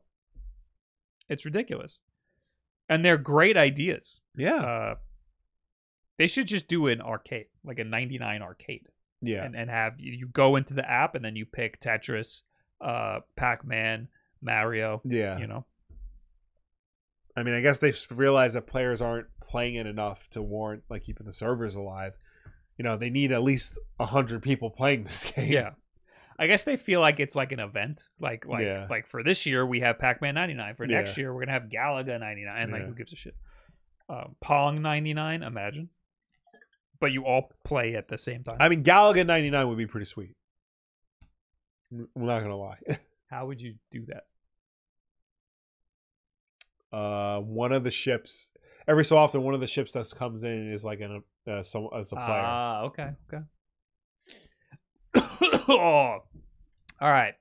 Uh, hey, Caleb Fox, thanks for the 11 months. I'm joining late, so maybe this was talked about earlier, but Death Stranding is currently free on Epic again. I did not know that. I did not know that, that is either. pretty cool. Epic. Also, I just switched back to the Store video feed, and the close up was of me picking my nose. All right. So there you go. the trick is when you're done talking, you gotta wait like 10 seconds. Uh, Uh, free games. Honkai Impact Third. third. Death Stranding. Free now. there you go. And also a mystery game. Ooh, it unlocks in one day in 13 hours. That's cool. Uh Death Stranding is another game that I want to play in my backlog, but it's pretty low in my backlog. I gotta do uh what do I got? I got Resident Evil 4. Mm-hmm. There's another game that I wanted to Oh, I wanted I want to do Peace Walker. I want to get through Peace Walker. Yeah. I'm so close to the end and I've gotten this far in both the Xbox 360 version and Yeah. the and the uh Vita version, the PSP on Vita version. Yeah. Uh I played I played through it twice and stopped at the same part. But I'm like towards the end, so I want to finally get that done. But I did start playing it and it is it is weird Yeah. because on the Vita, you well on the PSP, the camera controls the right stick is the face buttons. Oh yeah. Yeah, I think there's a setting to make it the analog stick, but it's, it thinks that you're using face buttons, Yeah. so it's it's bizarre. I think the Xbox 360 version might be the best version. Yeah. Maybe I should finish it on that. Mm-hmm. All right. Next up, we got GameStop drama. Yes, an entire GameStop store quits on Tears of the Kingdom release day. Hell yeah, brother. Uh, nowadays, it's not uncommon to hear of an entire GameStop store quitting uh, uh, en masse uh, as working conditions at the video game retailer continue to deteriorate. It's rarer to hear of employees resigning the day the biggest game of the year launches. That's apparently what happened at one Michigan store the day Zelda Tears of the Kingdom came out. Unfortunately, due to poor working conditions, the staff of the Brighton GameStop have decided to resign effective immediately, a note reportedly posted outside the store read. Management overworks, underpays, and underappreciates its frontline workers, sets unrealistic expectations, and constantly threatens termination for any employee that cannot exceed them. A photo of the note was posted on Facebook by a customer named Chris Cannerhart uh, and subsequently reported by local media after a tweet by gaming uh, deals out account Nintendo went viral. Uh, uh, told Kotaku he was visiting the store on May 12th, the day Tears of the Kingdom launch, to hunt for some collectibles. I got there right before they opened and saw the sign. He said, while I was there, five people I stopped by to. Uh, sorry, while I was there, five people stopped by to pick up uh, the, their pre-ordered Zelda. Ooh, imagine pre-ordering the game Yeah, and the this whole GameStop's closed. stores quit. That sucks. Yeah. Uh, GameStop did not immediately respond to requests for comment. I want to know what happened to these employees. Uh, yeah, I don't think Tears of the Kingdom was a huge day for the alien retailer. Uh, there were lines around the block at some places, and several current employees told Kotaku they were inundated with in-store purchases and online orders. Uh, I will say this is the biggest launch for a game that I've seen in years. Not uh, even the recent Pokemon games have been this huge for us. One current employee said some stores have some stores had hundreds of copies and still had to turn customers away who didn't pre-order the game. Uh, many stores held midnight launches, and Cannerhart said he heard from other customers that the Brighton location was one of them, Oh, okay. with diehard fans able to get their copies of the game at night, the night before release. It's not clear if the staff was planning to quit the next day ahead of time or the midnight launch was something that uh, put them over the edge. A new employee at the Brighton location declined to comment about the situation, but told Kotaku that the store eventually reopened on Tears of the Kingdom launch day within three hours of the resignations. oh, Despite the meme stock continuing to defy all logic and its a first profitable quarter in years, GameStop employees have continued to report high turnover, lack of meaningful pay raises, and more intense pressure than ever to hit unrealistic sales metrics. As a result, even some longtime staff have gotten too fed up with the continued work there, uh, and occasionally entire stores have been forced to temporarily shut down amidst staff shortages. Sukasa, thank you for the 19 months. They say this store is near me. You gotta go Yeah. and you gotta ask what happened to Yeah, and then uh, report back next week because we need to know. we need to know. Yeah, you, you, this- you have it's your duty. Yeah, I mean, like the stones on these people to like quit on Tears of the Kingdom Day. Yeah, Like, that's, I mean, what better day? yeah, But it's okay. So they they reopened three three hours later after they closed. yeah. You, you know, that's the manager like calling people frantically, like, "Why aren't you showing up? Why aren't you showing up?" And then him having to work the whole day himself. Yeah, that sounds like uh it sounds like yeah, maybe they walked out and the manager wasn't in on it. Like I Yeah. see like the Starbucks closures that happen all the time Yeah. when when they like protest. Uh it seems like it's unanimously the whole store Yeah. including the manager. And if they reopen, I mean it could also be like the district manager hearing about it and then running over there. Probably that's what I meant. Like, because like, there's always like the one like I don't want to say the corporate guy, but like the the guy who like oversees the store but never goes to the store, but Yeah. always sets like the That's the district yeah. manager guy, yeah, who does fuck all Yeah. until something like this happens. I got yelled at by the district manager one time yeah because uh, the night before there were like bad sales, and I didn't work there. I didn't give a Yeah. shit. I wasn't there that night. I didn't give a shit. But then the the day that I got yelled at, I got yelled at because the computers just stopped working. yeah Like like the network just stopped. And uh, at the time, I think it was Pokemon Sun and Moon was out yeah and um, I just couldn't sell. I couldn't sell half of the games in the inventory. Just wouldn't ring up. right So, and it was a slow store anyway. So people would come in, and I'd be like, "It's not scanning. I can't sell you Pokemon. Yeah. So, sorry." They'd be like, "Oh, that's that's a shame. Okay, bye." And then they'd leave. And then I was frantically trying to figure out what I'm supposed to do. And then the district manager called me, and he's like, "Dude, you should have closed the store. What the fuck, man?" Yeah. He's like, "Also, there were bad sales yesterday. What's that all about?" And I was like, "I, I don't know. I wasn't here." I don't know. I've been trying to ask what I'm supposed to do. and Yeah. Now you're telling me, and now you're yelling at me. What the fuck? anyway, fuck those guys. Um. Also, terrible art from Kotaku here. yeah It's just a picture of a GameStop store's door with a random PNG of a Tears of the Kingdom car well I mean on top. you know that's the main reason why everybody hates Kotaku is their bad artwork. yes. That's the only reason people hate that website. No other reason at all. Um. So yeah, good good for GameStop. Yeah. good, good for this Good one for Brighton GameStops. GameStop. Yeah. All right, I put this pretty low, but I know it's a big deal to you. Yeah. Mortal Kombat! Beep beep beep beep beep beep. Uh, I can yell here because I don't have kids to wake up. Mortal. Kombat 12 has been revealed as Mortal Kombat 1. It's a Wow. stupid name. Developer NetherRealm has officially revealed Mortal Kombat 1, the next chapter in its long-running fighting game series, which will release in September. It takes uh, it takes on the name rather than the expected Mortal Kombat 12 name because, as previously hinted at, Mortal Kombat 1 is sort of a reboot of the series and takes place in a new era uh, established by Liu Kang after he ascended to godhood in 2019's Mortal Kombat 11. he did. Yeah, Okay. yeah, it was, it was a weird, weird game. Uh, unlike previous games, Mortal Kombat 1, uh, sorry, like previous games, Mortal Kombat 1 will have a story mode, a unique roster of characters, and a new fighting system. You can see more in the trailer below. Uh, while this new entry has plenty of changes and new ideas, one thing that hasn't changed is the uh, trademark ultra violence that the series is known for. Like the previous entries in the series, Mortal Kombat is going all in on gore, blood, and fatalities.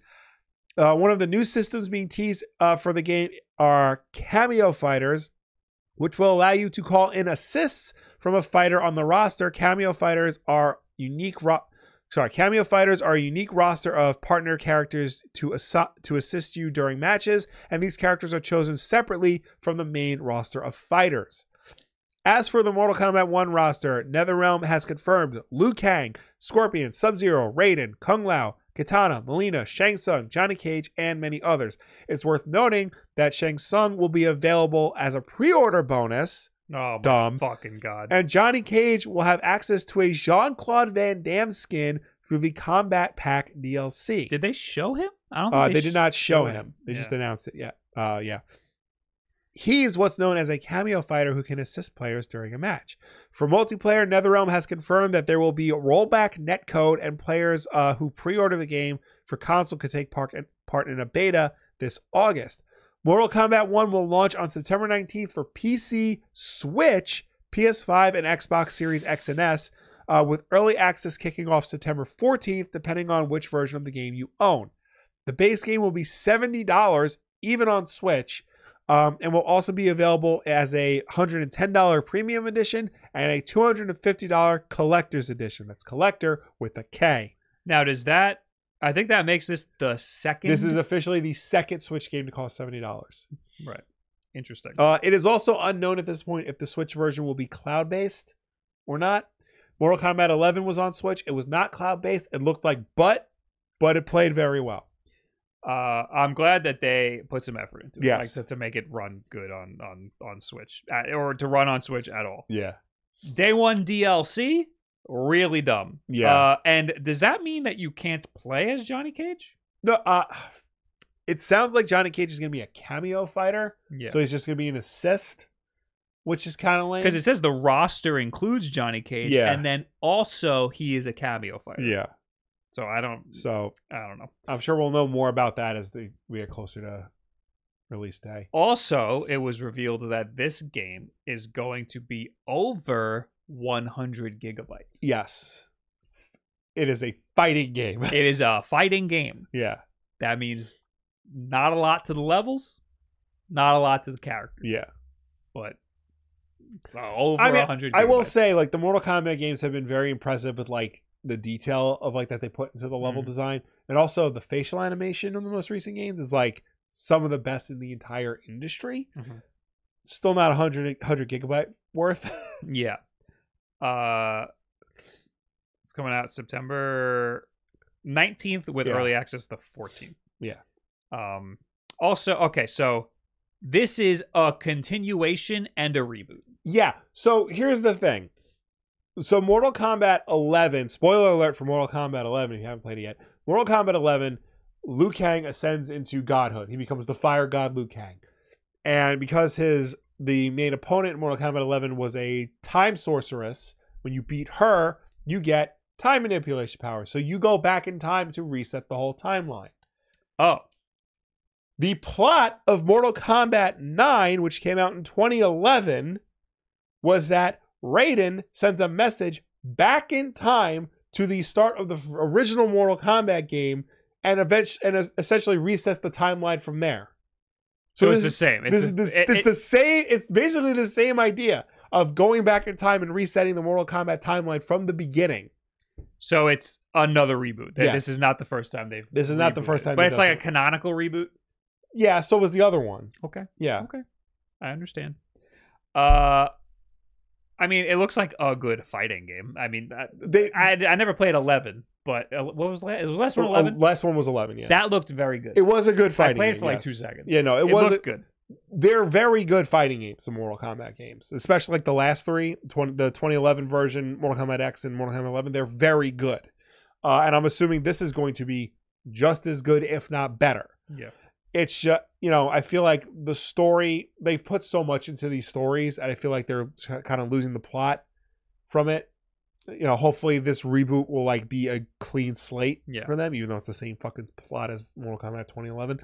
Um, I am interested to see like what they do with all the gore and violence. Yeah, I don't love it. Like like uh, half of this trailer was just like really uh, like brutal gore. Yeah, So, and I wasn't I, I like I don't need that. Like I, Well- I'm not playing I, I wouldn't be playing this for gore, but I guess there is a lot of people that do play it for that. I mean, we've seen uh, time and again from like different versions. You know, Mortal Kombat is not Mortal Kombat without the excessive violence, Mhm. and I understand that.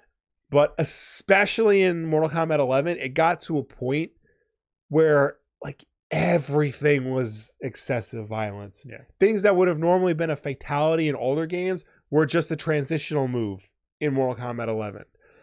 And the fatalities that they did put in were so over the top and so violent, so outlandish. Like there was no real impact to them. There was Yeah. no weight to them. So I'm kind of hoping that, like, honestly, I kind of hope they scale it back. You know, obviously make it violent, make it bloody, but save the the truly gruesome stuff for fatalities. yeah. You know, don't like waste a transitional move or like an X-ray move or a, or like you know a special move on something that is like excessively gory. Yeah.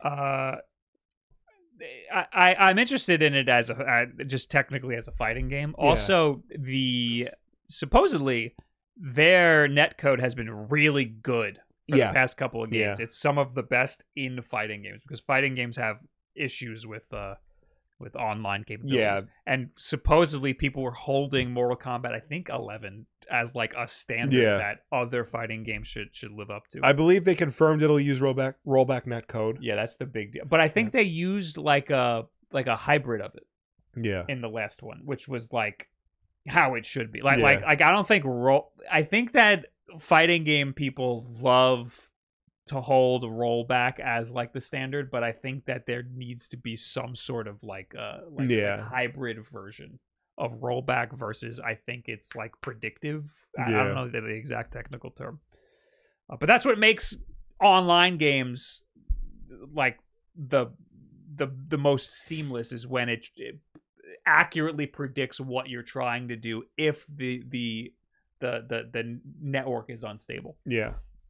and that's what makes uh, uh Smash Brothers so bad is Yeah. that is that instead of predicting what you're trying to do and keeping things stable, it shuts the whole game down I, and should, waits for you to. I gotta see if I can find it because I, I did see somewhere that Sakurai basically admitted that Smash Yes. Brothers Online sucks. I was what the next thing I was going to say is apparently Sakurai thinks that you shouldn't play Smash Brothers online and that it should be a couch co-op game, right. and that's why he didn't give a fuck about the Yeah. online. But that's because he's old and he doesn't realize that Right. now these days people want to play games online. Kids these days, when they play games, they go, "You go home to your house. I'm going home to my house, and we'll play online." All right, here's here's his quote. I don't think online play and Smash Brothers are very good fit for each other. Uh, one of the best parts of Smash Brothers is how players uh, can become champions among their friends, but being subjected to online competition can cause people to lose confidence, which isn't great. How is that any different from losing confidence in real life? Yeah, no, they just don't realize. These people don't realize. they just have like Nintendo, like Nintendo in general, like always have weird philosophies on like gaming. Yeah, they're always like ten steps behind. Yeah. All right. Uh, where are we? Will, what are your thoughts on Mortal Kombat Shaolin Monks? that was a good game. That was a surprisingly very good game. I I think I, we I think we have it. It's a PS2 game. I think Oh. I remember getting it. That was like the weird time where like we weren't playing Mortal Kombat games because they were kind of shitty. Um, but that one was very good. Yeah, the first game we played on N64 was Mortal Kombat 4. Was it four? or Was it trilogy?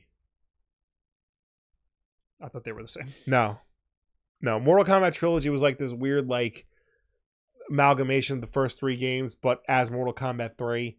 Um, it was the amalgamation of the first three games in the style of Mortal Kombat three, and then Mortal Kombat four was the 3D game. I thought it was 3D. I thought I think what we played was 3D. Okay. Well, wasn't it just called Mortal Kombat 64 though? No. There's Mortal Kombat Trilogy and Mortal Kombat 4. I remember the logo for Trilogy, Yeah. so it might have been that. I but think I remember it being 3D. because like Trilogy was out 1st Mhm. obviously. Oh, then it was probably Trilogy Yeah. then. Because we got we got the system and then we never got we didn't get a game for it, Yeah. so we went to Blockbuster and got Mortal Kombat because we were- like Mortal we Kombat. big Mortal Kombat. yeah. Anyway, next news we got Xbox games or nah, I added a GeForce. Uh, we are thrilled to share that starting today, May 18th, NVIDIA GeForce Now cloud gaming members in the UK, the US, the European Union, and around the world can stream Gears 5. And on May 25th, we'll be able to uh, enjoy fan favorites Deathloop, Grounded, and Pentiment. This is just the beginning. This is just the beginning stage of our forward-thinking 10-year partnership with NVIDIA to make PC games from Xbox Game Studio and Bethesda available to GeForce Now members. Together, we, we're accelerating access to players around the globe by letting them choose how and when to play. And we're showing the UK that we're letting other cloud gaming services have our games. Please let us buy Activision. Uh, that might have been added by me. So yeah, uh, Microsoft is making good on their word. They're adding their own games to other cloud services, starting with uh, NVIDIA GeForce Now. Um, it, immediately, they're getting Gears 5, and coming in the next few days, they're getting Deathloop, Grounded, and Pentiment.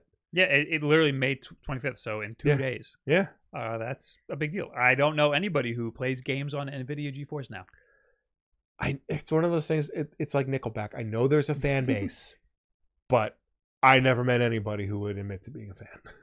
All right, real quick, GTA 6 coming out as soon as next year? Doubt it. Doubt it. Uh, crazy if they just yeah. drop it. uh, in a pre- in a press release issued alongside its yearly earnings report, Take Two shared projections for the coming years, including a massive projection for fiscal year 2025 and 2026.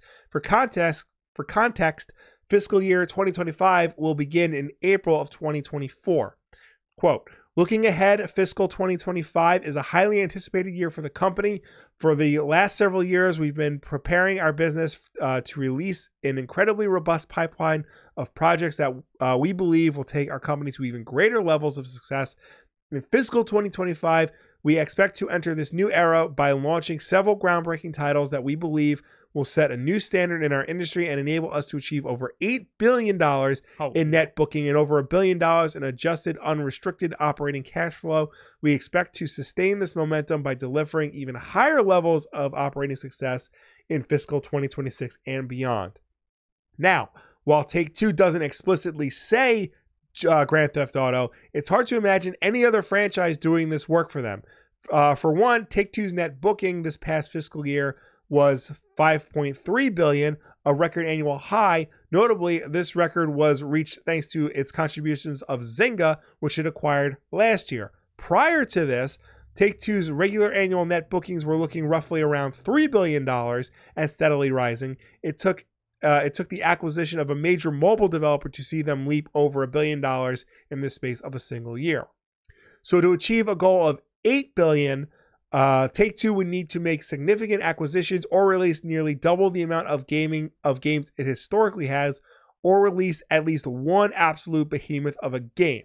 Notably, Take Two expects to do even better in its taking, um, in it sorry, it expects to do even better in its takings the following year, something that seems impossible without something like GTA Online built on the foundations of a brand new GTA game to propel its revenue sky high. So this to me sounds like it will launch at the beginning of 2025. Yeah, That sounds reasonable to me for this to be accurate yeah, because the fiscal year will still be wait yeah. Their fiscal year starts in April, yes then it's very likely that April 2025. Or before April 2025 Yeah. that's what I'm thinking Yeah. before April 2025 Right. uh it'll launch but it'll still count as the 2025 fiscal year yeah. yeah yeah that that that that sounds that sounds most accurate to me Right. um well so that means we'll probably hear about it next year for sure Yeah. yeah or even soon this year maybe or like towards the end of this year maybe I feel like if it's going to come out in 2025, we're not going to hear about it until mid 2024. i think we'd get a, a teaser soon like like, Yeah. a, like a like a title screen or something Yeah. but yeah we know that they're working on this Yeah, everybody knows they're working on it. I think it, you know, people are just really wanting to know when the fuck GTA 6 is coming out. Yeah. I think I remember once telling my wife's cousin's kids because they were asking me when GTA 6 is coming out after GTA 5 came out. And I said like, "Oh, you know, they work on those games for years. By the time GTA 6 actually comes out, you guys will probably be legal enough to buy the game yourself because they were under 18. Now they're all over 18. so, so you were right yes, so once again, hashtag what was right. uh last news that is only here to appease our father Yes, uh, Las Vegas neighborhood is naming their streets after Pokemon characters. wow Yes, uh, where is it? Uh, imagine writing a letter to somebody, uh, doing some online shopping, or filling out a form and getting to uh, write your street name that is the name of a Pokemon. For new residents of Serenity Place, a neighborhood in Henderson, Nevada, that dream will be a reality. Every street in this new development uh, from Harmony Homes will be named after Pokemon. Streets names include famous Gen 1 Pokémon monsters like Jigglypuff, Squirtle, Snorlax, Charmander, and Charizard. Construction has been booming in the Las Vegas Valley, leading to a unique challenge of coming up with names for new streets. It's really, really hard to name streets in this town, uh, says Andrea Miller, a construction manager at Harmony Homes LLC. Um, in order to create new street names, a developer must figure out a number figure out the number of streets and then submit double that number of names so that they may pass jurisdiction to determine whether they whether they've been used already. Uh, so yeah, and the street signs are already there. Apparently, Mil- Miller's 11-year-old and 14-year-old sons, who are obsessed with Pokemon, gave her the idea. Um, and luckily, there are tons of Pokemon to choose from. P- uh, Polygon has been able to find the development on Google Maps, um, and finding images of Snorlax Lane and Jig- and Squirtle Lane. Jigglypuff Place was there on the map, but sadly there was no Street View images of it as yeah i'm yet. looking right now Uh, Jigglypuff Place is the main thoroughfare of this new development because it's their it's their kids' favorite Pokemon. When I hear Jigglypuff, I giggle. Miller told KLAS 8 News Now. Um, when you're coming home from work and you had a bad day and you have to turn off the Jigglypuff lane, that will make you smile. Okay, J- okay, Jigglypuff Place is on the the Yes. Google Maps. I have I have found it. Yes. Um, I'm assuming you can't actually go here It's, it's it's, it's under development. yeah, it's under development. It's gonna be like it's a residential area, so like they expect people to live here. Yeah, yeah. It's a whole resi- residential like like the development. So Yeah. So uh, yeah, it'll probably be like closed off or whatever. Mhm. Uh, interesting. Uh, who dis says buying property on Victory Road? LOL. That's they should. That would have made so much yeah. more sense. The thing is, it's Las Vegas. There's probably already a Victory Road. That is true. That is true. All right, we're doing this. Tweet All of the week. Tweet of the week. Tweet of the week. Oh, it's a TikTok of the week. You fooled Y- me. Yeah, I fooled you. It's a TikTok. Oh, Check this out, though. You're gonna love this one. okay. It's a remix.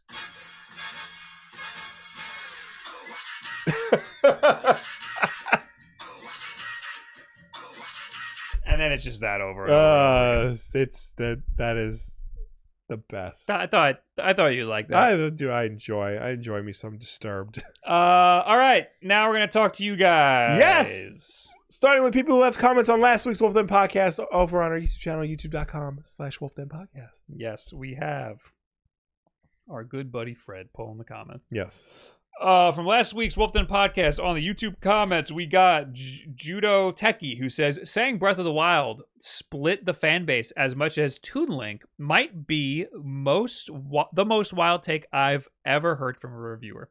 That was Yeah. talking about the guy who gave Tears of the Kingdom the lowest rating on Metacritic. Yeah.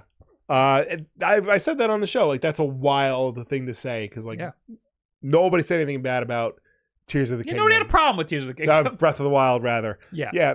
You know, we were there. We lived the the Wind Waker blowback and like all the controversy surrounding it. And then people played the game and was like, oh, this is good. Yeah. AJ Steers says, Are game devs really leaving the Switch behind, or are they building for an undisclosed Switch 2 that releases this winter? Uh, both. Yeah. I mean, like we said, Mortal Kombat 1 is coming out on Switch. Yeah. Not Switch 2, not Switch Pro, not Switch Next, not new Switch. It said Switch. Yeah. And Notably, that's September, though. yeah. So, I mean, I feel like if there was going to be a, a new Switch this year, they would hold off on saying it's coming to Switch. I don't know, because I, I, it's probably been in development for a really long time. Yeah. And, uh, I mean, Nintendo's got to be, they got something because they got no games. Yeah. And, I mean, Harry Potter postponed it. True. I think that game just will not be able to run on Switch. Yeah. And they they might be waiting for a Switch too. Mhm. Uh, uh, uh, Mortal Kombat, I think that they have all of the technology to make it work because Right. they've done it before already. Well, again, we don't know if it's going to be a cloud game or not. True. That's Yeah. a good point. Eric C says, I got to be honest, I'm taking uh, Tony Hawk 2 over literally every game. Yeah. That was us saying that Tony Hawk 2 might be one of the greatest games of all time, mm, Well, or might be the greatest game of all time. I mean, everybody loves it. Everybody loves it. Zeros Ones says, You guys are my favorite podcast, but I absolutely cannot believe you prefer Twin Snakes over Metal Gear Solid 1. It's the better version. Here's here's the thing. Here's here's what the two reasons why everybody prefers. Everybody says that the original is better than Twin Snakes. These are the two reasons. Okay. One is because they added all the mechanics from Metal Gear Solid Two into Metal Gear Solid One, and now I understand that does kind of break the game to a certain extent because you couldn't hang, um, you couldn't like shimmy in the uh, Metal Gear Solid One, but you can in Two, and that sort of like makes escape easier in certain parts. Um, also, uh, first person shooting was not in the original Metal Gear Solid. and that, that breaks does- Otacon, the first fight. Yeah. Ocelot, Ocelot. It does break the first fight with Ocelot. It does break a lot of. Um, but you don't have to use them. You can still technically play the game the original way. It's just there if you want some help. There's nothing wrong with making the game a little easier. Yes, yes. The second reason why people don't like um, Twin Snakes over the original is the redone cutscenes because they're a lot more flashy. They're a lot more spectacular. A lot more action packed. The and they're fucking cool for the it. dialogue is a lot more hammy. It's a lot more campy than the original one, but that makes the game. it's so good. It's so good. and they only got more hammy after yeah. that. So it's like, like, it's perfect. like I've seen like original Metal Gear Solid Liquid Snake, and he's good. but Twin Snakes Liquid Snake is a revelation. Yeah, you know it's it's, It's so, so, good. good. Yeah.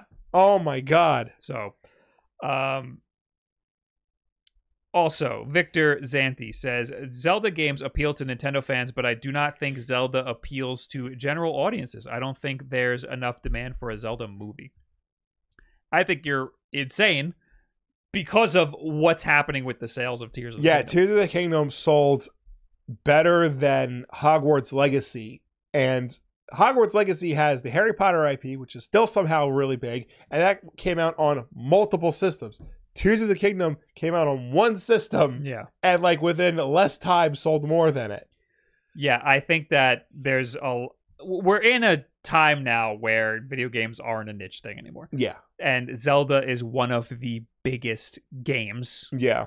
So it's it's got a wide appeal. I like I think, you know, certainly Mario is bigger, but I don't Yeah. think you can deny the level of like interest in Zelda. Yeah. You know, it is it is huge. also, if the characters are uh, already have the success in a niche, like yeah. I, I said video games aren't really a niche, but if you want to consider them a niche, if Zelda is showing success within that niche, it could translate to something else. That's what happened with comic books. They brought it into movies and Yeah. found success with certain ones of them there. And Yeah. that that's why what they've been trying to do with video games for so long. Anyway, Caesar Morales says, uh, I have never listened to this podcast, so I gave it a chance. I chose this episode to start with, and I only made it three minutes into the podcast. That dude really said, I have never played Breath of the Wild, and I don't. Who? Who said that? I keep reading. I have never played Breath of the Wild, and I don't think I'll get around to play this one. Done. What a joke of a host. So that's you. that's me, but, you that's not what I said. You did play I Breath said of the I Wild. said yeah, I said I have played Breath of the Wild. Yeah. I didn't finish Breath of the Wild. right. And I don't think I'll get around to play Tears of the Kingdom. Mhm. That's not a knock on Tears of the Kingdom.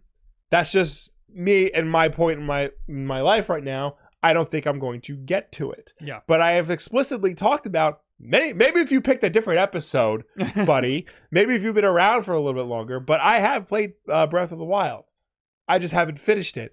Many people have not finished Breath of the Wild. It's a big Yeah, fucking like, game. There's a lot it took do. me five years to beat. Yeah.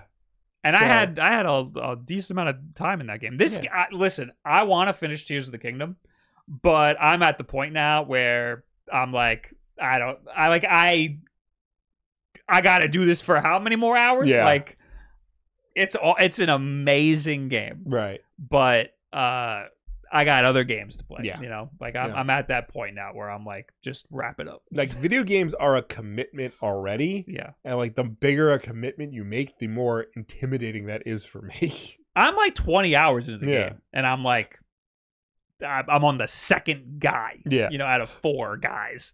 So like, get me out of here. yeah. Um. All right, now we're in the chat real quick, real quick. Uh.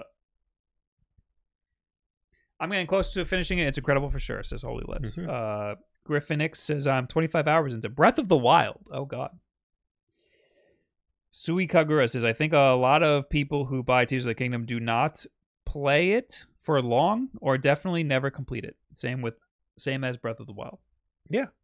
Yeah, no, that makes it's just such a long game. I mean, if you look at like completion metrics, a majority of people do not finish the video games that they buy. You know, I said that once and then I was proven wrong. Really? Yeah, but I think that metric might have changed. I think it might be back to people are not finishing games. Yeah. Because there's a lot of them. There's a lot of them. Yeah. Uh, Angel Without Wings says, I'm 105 hours into Tears of the Kingdom so far. Jesus fucking Christ. Mr. Rock PR says, You complaining about Breath of the Wild? I just started playing Golden Sun and I'm already tired. Golden Sun, don't even, don't even get Uh, me started. Holy Letter says, Hey Bob, how did the rest of the last night's stream go? I passed out after you finally got the save stuff figured out and Henkaku was deleted. It is is it easier or no? Final answer. So this is about the Vita hack. Uh, it is easier, but not by enough to make it worth doing. Right. uh, I will say. So the Vita hack now, you don't need to connect it to the computer. You can just go to a website and download the hack. Uh, you still have to do a. There's like a million steps still, Right. and you still have to do all of that. But the Vita is actually really, really hard to connect to the computer. Like even through USB, Yeah. it just doesn't recognize it. You have to download a certain special thing, and it's it it, it only works half the time. It's very annoying. Uh, so you do bypass that, so it is a little easier. Uh, I'm gonna put all the emulators on and, and see if it's worth Yeah. doing for emulation at all. Uh, Uh, Jim Slatter Snub says, "I'm 60 hours in and I into Tears of the Kingdom, and I have yet to get a, to a single story dungeon. Holy shit! Yeah. Uh, Griffinix said, "I'm getting a PS5 tomorrow and looking to upgrade to a 4K TV. Any good brands to look uh, to look at that won't break the bank?" Uh, I like Samsung, but I, I'm hearing a lot of shit about Samsung. Yeah, I have a Samsung TV that wasn't that expensive, but I know people have problems with it. LG makes good cheap 4K TVs. You just got to make sure you know what you're looking for. But like the top like discount brands of TVs is like Vizio and TCL. But like even Vizio is like getting up there in price because they're like they, they think they're Sony now. So Oh, they are so not. yeah, Uh, they make good stuff, but you know don't don't spend more than a thousand dollars on a Vizio TV. I think uh, Kevin Kenson likes LG or something. Yeah. Yeah. Yeah. A lot of people like LG, but you, LG makes really cheap TVs and they make really fucking expensive TVs. So just keep your eyes open. So you know how Breath of the Wild is kind of washed out, like it looks like the colors Yeah. are washed out. Uh, Tears of the Kingdom is a little better, but it's still kind of washed out in in in most of the game. Yeah. uh Hannah was playing it on the TV on the Samsung TV, Uh-huh. and I have it set to standard. Whenever when I lived with Sam, he this is the same TV I had in my apartment. Mm-hmm. I would switch it to standard, and then he would switch it back to dynamic. And I was like, "Why Yeah. does this thing keep going back to like Yeah, the demo yeah. mode?" He's like, "Oh, that's me. I, I like dynamic because he it, it just blows out all of the colors. So when you're watching TV, everything's overexposed and shitty looking because they just want everything to be bright when it's in when it's in Best Buy because you just want to buy the brightest, most colorful TV. Putting the friggin' TV back to dynamic mode when you're playing Tears of the Kingdom looks fucking awesome. It fixes all of the colors. So I guess people don't realize how washed out that game is if you play it on a TV Yeah. because most people have their TV set to the standard whatever the Yeah. TV came with. It really does suck the amount of like t- uh, tinkering you need to do with TVs now. Because like you, you can't just buy it Yeah. and like set it up. You have to go in. You have to make sure that you know motion smoothing is off. Yeah. You have to make sure HDR is turned on. You have to make sure you know the color accuracy in your room is like good for the television Yeah. and stuff. It's just such a pain in the ass. Tech Niner says game mode. So like I don't like game mode because it changes the colors, but sometimes you need to put it in game mode Yeah. because that is the low latency mode. Yes. So Uh I know some TVs when you set it in game mode, you can still tweak the colors of Yeah, it. yeah. But again, you got to do extra work just to play your game. Yeah. All right. Uh says Vizio is much better than TCL in my experience. Yeah, I mean Vizio's been around for a lot longer. And he says Costco Vizio TVs are great. I thought Vizio was a store brand. No. No, Vizio is a nationwide brand. What is Best Buy's brand? Insignia. Oh, okay. Yeah. I had an Insignia TV. It was okay. I, I, I would expect nothing more Yeah. than, than than that. Edward Boba says, "Do you have to do that to get the Nintendo mini consoles to work like the Super? Do what? Do what? Turn off motion smoothing? I mean, you should put that in game mode definitely because otherwise you can't. You literally cannot play Punch Out because of the the lag. Oh yeah, yeah, Yeah. Flo says, "Oh my hell! I am 15 minutes into Planet of Lana on Game Pass, and this game is so fucking gorgeous. what is that? Sounds like a a cute game. Oh, I played this uh, at uh. This is a very pretty game. I, I played this at um. oh uh, yeah, at- I've seen that. Yeah, what- that pop what up. Yeah, Freaking, where did I play that? PAX. PAX. Thank you. Yeah, that game looks really good. I've Yeah. only played a little bit of it. It's it's it's like a pretty looking limbo, Yeah. basically. Uh, K-Jack says, "Do you think we could see Analogue make a PS1 or PS1 console at some point?" I feel like they might be afraid to, Yeah. to, to poke that bee's nest, but Yeah. uh, we could see it. Yeah, We could. I mean, there's nothing really stopping them. I think that the TurboGrafx is them testing the waters for a disc-based console. Yeah, absolutely. Uh, Bob, what are your take on what Eiji Aonuma said about Zelda Tears of the Kingdom? Basically, was basically done when the delay happened. I read, the, I yeah, I, I, I saw, Yeah. I saw the headline for that. Uh, I believe it. Yeah, Yeah, I mean they always delay Zelda games, so Yeah. they probably had no problem delaying this one. yeah, and uh, f- and the one article I read said it was delayed uh, to make sure it had that Nintendo polish. Yeah, and Yeah. it does, and Yeah. it's very and they there had to have been a lot of polish that had to happen because of all of the abilities in this game that Mhm. are very easy to break the game with. A- Yeah. and there's there are glitches and stuff and the frame rate's horrible in a lot of places but Mhm. i've played pokemon and i've seen how bad Yeah. things can get and they're nowhere near that bad in this game so they did it was worth uh, uh all of that polish for also, sure. fucking Skyrim is buggy as hell, and you all love that game so much. that's true that's a good point uh, because of one of the things they said was that it was to get the physics of the game just right. Yeah, Yeah. yeah. I mean, yeah, and and, and it seems like the ascendability and stuff was not an afterthought, but it was pretty far into development when they decided they wanted to do that. Yeah. unless they decided that that was fun when they were developing Breath of the Wild, but Yeah. uh, it seems like uh, they had to go back and change a lot of stuff. Yeah, because they were essentially saying like, okay, we'll keep this cheat code in. Yeah, basically. uh, EU and JP regions already have a workaround for hacking the 3DS. What What do you mean? It, it God bless. It's already. It, it, it's fine. Like I, it works with with the software update. My hacked 3DS is completely fine. Thank you guys. Thank you for saying. They all that. say bless. um, they added it because Eiji said he had fun using. Yeah, no, I, I know. That's why I'm like, did they do that during Breath of the Wild, or did they were they making a whole new game and then decided, wait, this ascendability is cool. Let's change the entire. I think they were making it. They uh, did it during Tears of the Kingdom because we talked about this last week. Mhm. It was basically, you know, it was a cheat code for them just just to get out of like the um the tunnels that they were in, or like to ascend to the yeah, but the thing when if if you play Tears of the Kingdom, you'll see that the game is set up for that to work. right a- and for that to not break the game. So it is wild to consider that they went back and redid a lot of the game Yeah. to compensate for that. And a lot of the like uh, uh, uh, uh, shrines and stuff are set up so that the ascendability is like a like a the way to solve it. yeah Um, uh, Jack Wagon One says even if you haven't hacked it previously. Oh, that's so they say not to update your 3DS because if you want to hack it in the future, it might break it. right And now, if you update it now, there will probably be a fix if you ever want to hack it. Okay, I figured that it would that they would get around to it pretty quickly. All right, that's it. We're done. Thanks. All right. Thank you for tuning in. Thank you for watching us. Thank you for chatting with us. As always, the Wulff Den Podcast is every Tuesday night at 8 p.m. Eastern, right here on twitch.tv slash Wulff Den. If you can't make the show for any reason at all, we always put it up as an archive version over on our YouTube channel, youtube.com slash Wulff Den Podcast, where you can go and check us out over there on demand whenever you want.